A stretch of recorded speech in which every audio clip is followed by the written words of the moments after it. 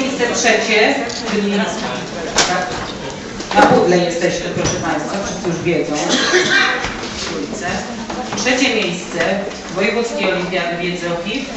Marlena Szyligowska i Krystian Szczerzyński. Pierwsze liceum Sienkiewicza w Koluszkach. Zapraszam.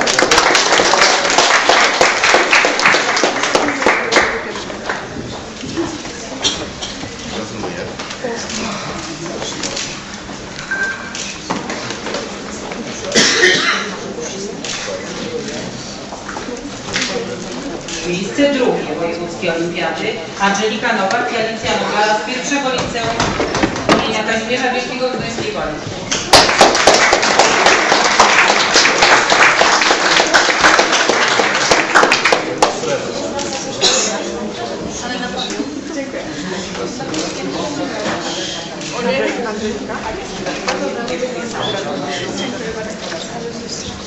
jedynka. Bardzo serdecznie zapraszam laureatów tegorocznego, tegorocznej Olimpiady Wojewódzkiej na temat wiedzy o zaj- którzy zajęli pierwsze miejsce Aleksandra Wiktorowicz i Aleksandra Sturma z Zespołu Szkół Samorządowych nr 1 w Opocznie. Brawo!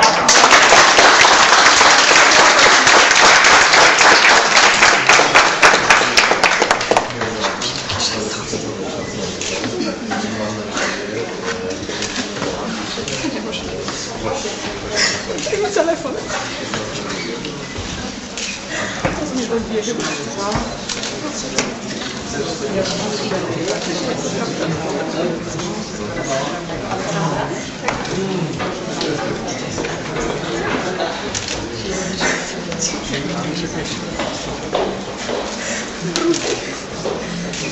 Jeszcze raz brawa.